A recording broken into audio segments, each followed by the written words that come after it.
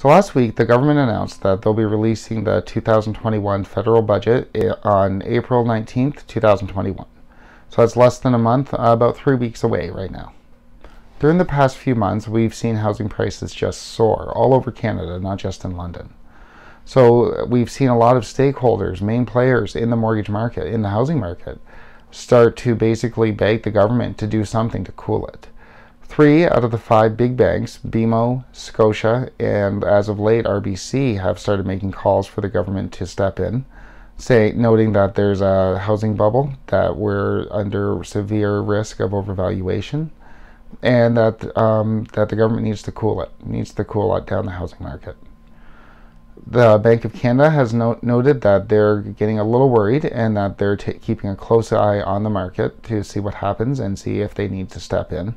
And even CMHC just recently released a report noting that five of the bigger cities in Canada are at a are at risk of being far overvalued, and that something needs to be done. So when you get the big banks, the mortgage insurers, and the Bank of Canada, all within the all within one month, saying that something needs to be done, it there's a that's a good sign that um, there'll be something in the federal budget to do to cool the housing market. But what's that going to do to London's market?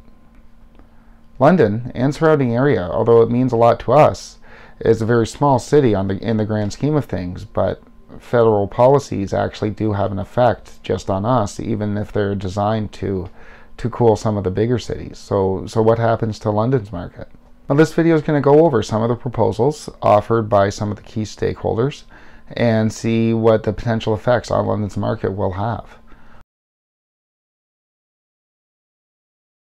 I think it's good to note from the outset that the Bank of Canada has no intention to raise interest rates uh, for the foreseeable future. They've already said that they probably won't be looking to raise their key rate until um, 2023.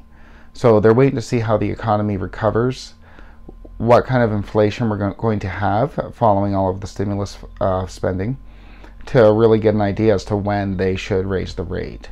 So although raising rates might change the housing market, that's not really a serious option that's that's going to be put forward anytime soon. That doesn't mean that the banks won't raise rates, but the key rate at the at the central bank is not going to be changed. Most likely. Although never say never. So one option, and we've talked about this in another video, is raising the stress test. I'm not going to go into it too in depth in here because I already have, but London previously, over the past few years and right now, doesn't show really all that susceptible to raises in the stress test. Uh, there are a number of reasons, mainly because our average income actually isn't that much higher than the average um, affordability in London. And mostly, and this is going to come up again and again when we look at any of the options, is that London's proximity to Toronto makes it a little bit different, a little bit less susceptible to changes in the financing. Second, there's been some talk about them raising the minimum down payment requirements to get a mortgage um, with less than 20% down.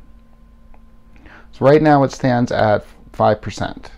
This was actually brought up last year when it was when there was a fear that there was going to be far too many deferrals and that people wouldn't be able to make their mortgage payments.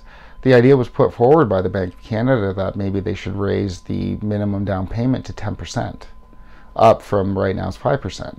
That idea was quickly shot down. Um, CMHC made a lot of predictions last year, and a lot, most of them did not come true. They predicted an 18% drop in the can in Canada's housing market, and that didn't happen. Obviously, almost quite the opposite. Um, so, is the government going to change the minimum down payment requirements in the in the next budget? It's doubtful that they will. Reasons for that is that it will be extremely politically unpopular. We keep moving the goalpost on these first-time homebuyers, um, with the market going up and up over the past few years people save their 5% down, and it takes a long time for the average family to save 5% down. And then all of a sudden you're going to tell them that they have to that they have to double their down payment. I mean, that's that's cruel. And well, cruelty doesn't test well politically. But let's say that they did, just for argument's sake. Let's say that they did raise it from 5% down to 10% down. Is that going to help? Is that going to change London's market by that much? I would say probably about half of my clients go with 5% down. With that said, when we look at the offers being submitted, it's all 10 to 15 different offers. I'm sure not all of them are 10 to 15% down. In fact, a lot of them are cash buyers from Toronto. So this to, when you're looking at the London market and what the budget or what the government can do to change it, we always have to remember that Toronto and Toronto cash buyers, those retirees moving to London, cash rich, that don't that are not susceptible to these uh, to the, to finance conditions that are being put forward by the government. That's always going to have a, a, weird interplay with London's market, uh, something very different than what we see in other cities in Canada. So if they raise the down payment, for argument's sake, will it would it hurt London's housing market? It might, it might, but it wouldn't be drastic. We, I wouldn't expect a real drastic change um, into it, in London. So if raising the stress test isn't going to really cool London's market very much, and if raising the down payment, one probably wouldn't happen, and two isn't likely to have any drastic effects in London then would eliminating the principal residence exemption from capital gains tax actually have an effect? Well, now that could. That is the new option that was just suggested by RBC. That's going to be extremely unpopular uh, should it should it come out. But let's take a look at it. Reducing a tax on the sale of your pr principal residence is obviously attractive to the government for two different reasons.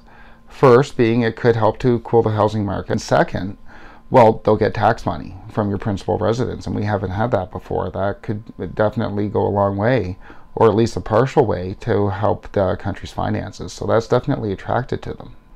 With that said, and we've talked about this before, there's a real supply issue in Canada. There's not enough houses for sale. And this is especially acute in London, where uh, developers have been saying for years that we don't have nearly enough supply and we need to build, build, build for the amount of demand that we have. If they were introduced a tax on your principal residence, although that might stop a lot of people from Toronto from selling their house and moving to London, well, that's also going to stop a lot of London buyers. Or, sorry, that's going to also stop a lot of current London homeowners from selling their house because they just made it more expensive to sell your they would just make it more expensive to sell your house. When you're trying to cool the market, although it might be attractive to get the tax to get the tax revenue, making it so that people don't want to sell their house is just going to drive up demand, which is going to do nothing to help the, help with the prices of houses, um, especially in London. Is the government actually going to start taxing your, the sale of your principal residence? I would be very, very surprised if they did. As much as raising the down payment requirements would be political suicide, more so I think would be would be starting to tax the sale of your principal residence. Uh, there's a lot of homeowners out, there who really count on their homes as their retirement funds. And they've made plans over the past 20, 30, 40 years on that's that's where they put their money for their retirement. And if you're going to introduce a new tax on that, that's that's political suicide. That's not going to go over very well. So if they did, yes, it could it could seriously it could cool London's housing market, but it's very unlikely that they will.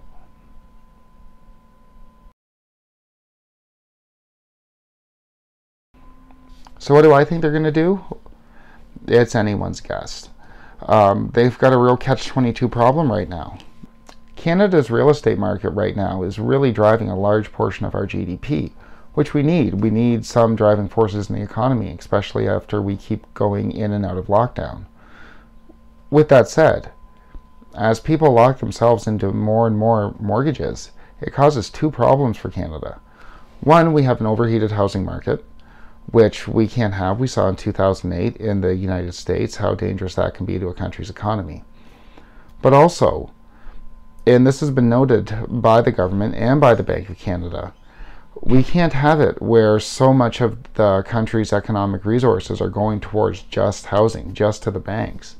As people lock down, lock into these large mortgage payments needed to facilitate these uh, the purchase of these large homes, well, that's money they're not spending elsewhere if most of your money is going towards uh, your mortgage payment, then it's not buying cars, it's not buying renovations, it's not going out to eat, it's not going to the movies, it's not doing all these other things that help various sectors of our economy. So there's a real there's a real need um, on the part of the government, both for now in, in the immediate term, and in the future as we try to grow our economy back after the pandemic. Um, there's a very need on the part of the government to to try to do something to fix it to fix this. Um, it's not just it's not just trying to avoid a 2008. It's also trying to direct our our um, it's also trying to direct our financial resources in the best manner possible that that's best for everybody. Thank you for watching. If you enjoyed this video, please click like and subscribe, and we'll have updates um, as as new issues come out.